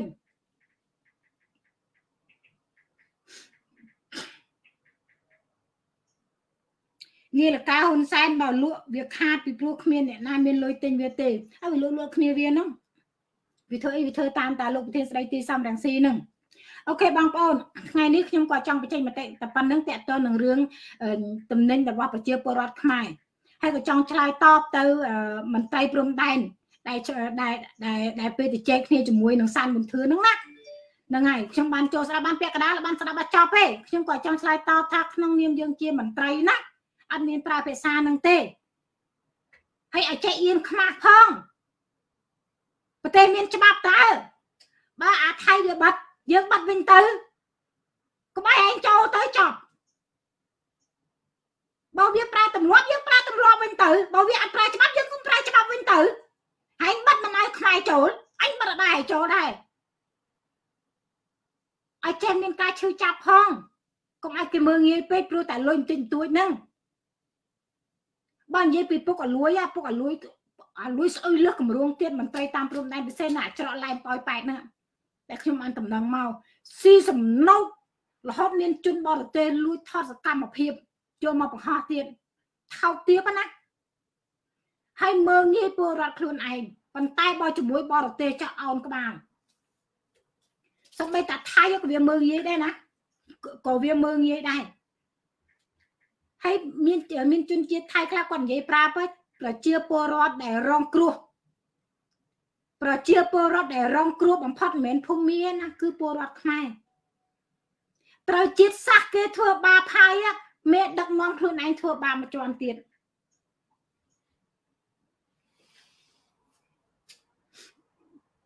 ហើយតែពេលគេនិយាយទៅថាគេនឹងលៀបពណ៌ថាគេញុះញង់ថាគេអញ្ចេះគេអញ្ចោះ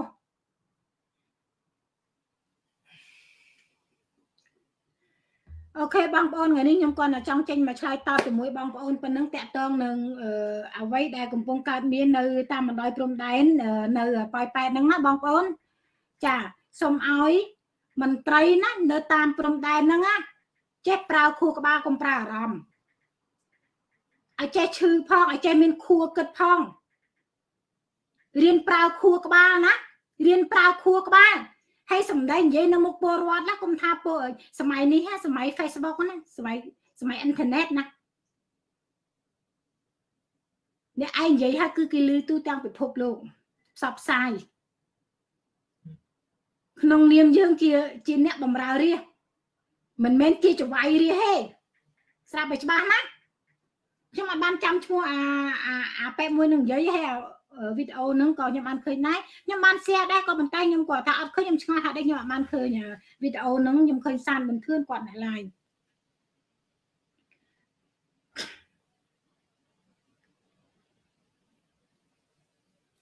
អេខ្ញុំបានលុតអីអាខណ្ឌសវណ្ណនេះខ្ញុំក៏លើកសម្ដីខណ្ឌសវណ្ណយកមកនិយាយវិញចារិនរិនយើងចាសួស្ដីសួស្ដីខ្ញុំខ្ញុំមិនបានថាអីទេឲ្យឲ្យឲ្យឲ្យអាសវណ្ណនេះគាត់ថា ព្រោះអាសវណ្ណវាជាយួនវាត្រូវតែការពារផលប្រយោជន៍យួនគ្នាវាកាលនោះវាក្រៅកាហាយរឿងច្បាយក្រុងនោះដេញយួនចេញពីស្រង់យួនដាក់នៅព្រែកភ្នៅឬក៏ប្រងដេញយួនទៅស្រុកនោះដល់ហើយអាយួនខណ្ឌសវណ្ណវាខឹងបាទខំទៅបានវាចេញមកស្រែកឡូឡានោះជំនាន់នោះបងប្អូនមានចាំទេมันខំស្វាំវាចេញមកស្រែកកតើកតើលលេលលើតាក់តងរឿងស្រង់យួនពីពីក្នុងទឹកពីក្នុងទឹកដេញយួនទៅស្រុកនោះ ម៉ែខំស្វាំថាដេញយួនទៅស្រុកវិញទីអត់ត្រីស៊ីបងប្អូននៅចាំទេអានោះខ្ញុំគាត់និយាយយោងតាមសម្ដីអាសវ៉ាន់នេះកុំឲ្យវាចោទខ្ញុំថាខ្ញុំនឹងលៀបពណ៌វាញុះញង់វាអត់ទេណាអាសវ៉ាន់ណាខ្ញុំមាននិយាយលៀបពណ៌អីហែងណាអញនិយាយយោងតាមសម្ដីឯងវើយទីមកនិយាយបព្រីបភ្លើថាអញលឿពអីឯងយ៉ាក់ក្បាលរវែកដាច់កចាអូខេ ហ្នឹងហើយខ្ញុំគាត់តែចង់ឆ្លើយតបប៉ុណ្្នឹងទេសូមឲ្យប្រើខួរក្បាលគិតណាឲ្យចេះមានឯងដំកតេមានមនសិការជាតិចេះស្រឡាញ់នៅពលរដ្ឋខ្លួនឯងកុំថោកទាពេកប្រើសម្ដីឲ្យមានសុជីវធម៌ក្នុងនាមជាថ្នាក់ដឹកនាំក្នុងនាមជាមន្ត្រីជាសមត្ថកិច្ចនៃអ្នកបម្រើរបស់ពលរដ្ឋកុំមកតាំងខ្លួនឯងជាចវាយពលរដ្ឋកុំមកកតេកតើដើរពើងទ្រូងចឹង ឲ្យចេះមើលឃើញអំពីនៃទុកលំបាករបស់ពលរដ្ឋផងនៅពេលពួកគាត់ជួបទុកលំបាកគាត់ចេញមករកដំណោះស្រាយចង់ឲ្យយើងជួយរកដំណោះស្រាយឲ្យពួកគាត់គេបាត់យើងយើងបាត់គេអានឹងស្មើគ្នាតាអត់មានណាលើអ្នកណាទេ ខាងគេបាត់យើងយើងបាត់គេវិញទៅបើគេថាវាជាទម្លាប់បើយើងមិនបានសុំគេគេបាក់ឲ្យយើងបើចឹងយើងជាទម្លាប់ហើយបាត់ឯងបាត់វិញធ្វើវិញទៅរួចគ្នាបាត់ទៅហើយ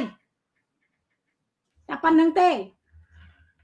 ហើយកុំតែចង់សួរផ្ចាញ់ផ្ចាជួញតើខ្ញុំហីខ្ញុំកន្លែងខ្លះខ្ញុំសរសើរសានមុនធឿនយកឃើញទៅទោះបីគាត់ផឹកសវងលេអាឡូប៉ោឡោប៉ោឡែមិនក៏ដោយប៉ុន្តែកន្លែងខ្លះគាត់យកព័ត៌មានបំរើបំរើពលរដ្ឋខ្ញុំសរសើរគាត់កន្លែងខ្លះទោះបីគាត់លលេលលោផឹកប៉ោឡៅប៉ោឡែមិនក៏ដោយ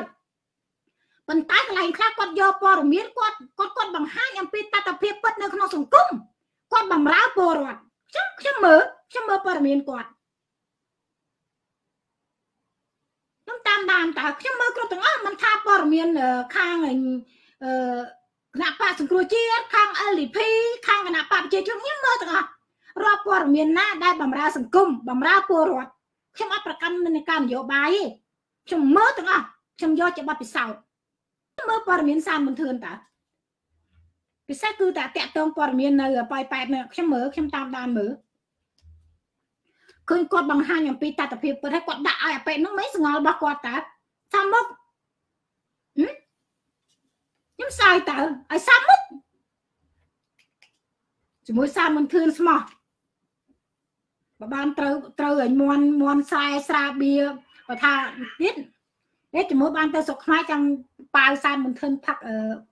ផឹកស្រាបៀមន់ស្រែអូខេបងប្អូនថ្ងៃនឹងយើងជួបគ្នាប៉ុណ្ណឹងណាបងប្អូនណាពួកអីខ្ញុំយីជួគូសំណាស់តាបងប្អូនថ្ងៃនេះចេញតែម្នាក់ឯងដោយសារកូនសាខ្ញុំគាត់ទៅទៅប្រាំងតែតែពុតខ្ញុំត្រូវឡើងទៅបារាំងដែរទេតែដោយសារតែវា តែខ្ញុំមួយកូនអត់ត្រូវអត់បានចេញទៅមួយមួយមួយគាត់ចឹងហើយបានក្តៀននៅផ្ទះហ្នឹងខ្ញុំមើល comment បងប្អូនខ្ញុំឆ្លើយ comment បងប្អូនបន្តិចហើយរួចហើយយើងខ្ញុំបាត់បញ្ចប់តែម្ដងពួកខ្ញុំនេះ live 1ម៉ោងជាងដែរហើយ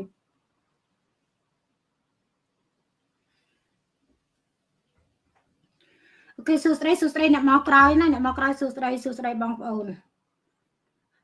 តែចំពោះអ្នកចូលមកជេរខ្ញុំខ្ញុំប្រាប់ខ្ញុំអត់ឆ្លើយតបទេណាមកជេរខ្ញុំនៅក្នុងនេះខកចិត្តហើយខ្ញុំអត់មានពេលតបជាមួយទេពួកពេលនេះមិនមែនពេលចេញមកជេរពេលចេញមកវាយប្រហារចេញមកអីទេជាបញ្ហាដែលយើងត្រូវរួមគ្នាជួយពលរដ្ឋណារួមគ្នាជួយពលរដ្ឋខ្ញុំអត់ចាប់អារម្មណ៍នឹងក្បាលនេះឯងទេពួកនេះឯងគ្រាន់តែជាកាកមនុស្សខ្ញុំអត់ឲ្យតម្លៃទេហ្នឹងណាហ្នឹងហើយ ទៅចាប់ជាតិចាប់កំណើត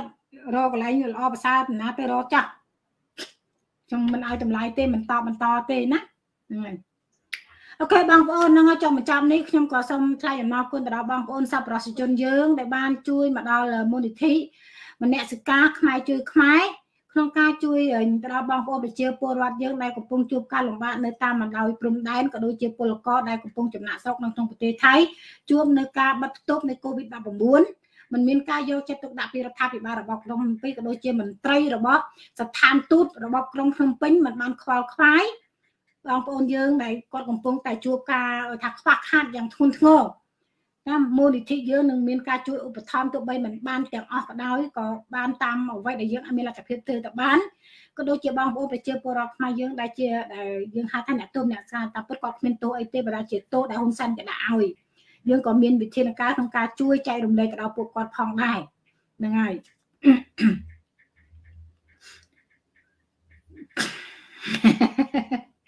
អរគុណច្រើនចន្ទរតនាគិនចាឲ្យពួកវាទៅកាន់ភពដើមខ្លះទៅខ្ញុំពួកនេះសើពួកវាស៊ីឈ្នួលទេវាគ្មានតម្លៃអីតែយើងតបតទៅគ្នារស់ភាសាចេញមកជាប្រមាថហើយជាសណ្ដានពួកគេចិញ្ចឹមវាមកសម្រាប់ទៅឲ្យជេរចាំខ្ញុំមកខ្វល់ទេ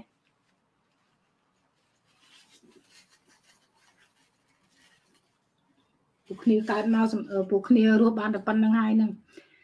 អូខេបងប្អូនចឹងថ្ងៃនេះយើងជួបគ្នាប៉ុណ្ណឹងណាហើយចាំលើកក្រោយយើងជួបគ្នាទៀតហើយក៏សូមជូនពរទៅដល់បងប្អូនហើយនៅក្នុងឱកាសនេះដែរនាងខ្ញុំធីតាភូតំណាងឲ្យក្រុមការងារទូទួលសម្លេងមនសិការខ្មែរមូលនិធិមនសិការខ្មែរជួយខ្មែរសូមថ្លែងអំណរគុណទៅដល់បងប្អូនសប្បុរសជនដែលបានបរិច្ចាគនៅថវិកា ជួយទៅដល់បងប្អូនប្រជាពលរដ្ឋខ្មែរដែលកំពុងជួបការលំបាកដោយសារ COVID-19 ក៏ដូចជាដោយសារតែការដឹកនាំដោយគ្មានទំនួលខុសត្រូវរបស់របស់ក្រុងភ្នំពេញឲ្យបានគ្រប់ឲ្យបានចាគឺជាការជួយរំដោះទុកជួយចែករំលែកតែ